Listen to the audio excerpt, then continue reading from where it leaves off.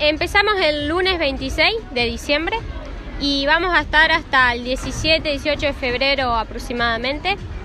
Este, tenemos dos grupos, dos edades. El grupo avanzado, que es de 3 a 4 de la tarde, son chicos que ya vienen trabajando hace muchos años. Estamos las dos profes. Y después de 4 a 5 hacemos dos divisiones. Eh, en la edad de 6, 7 y 8 años estoy yo a cargo y después en la edad de 3, 4 y 5 se encarga Luisi. Bien, Luis, y contame un poco cómo es trabajar con los chicos. Bueno, la verdad que es una experiencia re linda y bueno, como ya estamos en la colonia a la mañana y vamos teniendo relación con los nenes por otras disciplinas durante el año, así que la verdad que es un aprendizaje tanto para ellos como para nosotros. En tu caso, Lucy, decime, ¿y ¿qué tipo de cosas también hacen? Bueno, por lo general yo trabajo, me divido por semanas.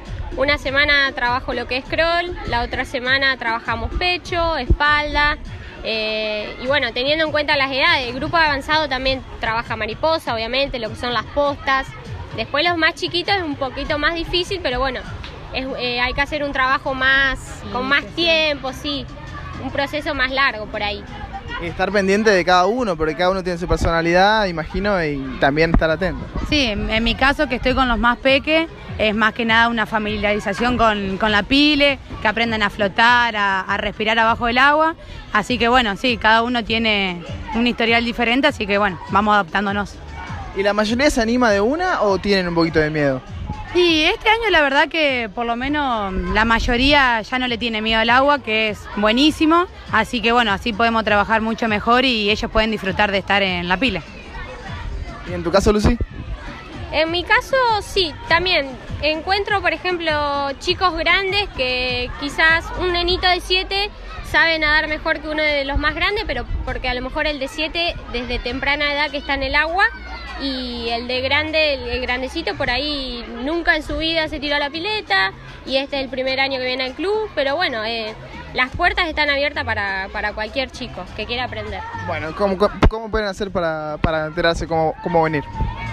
Eh, tienen que pasar por el fichero, ahí la chica les explica todo.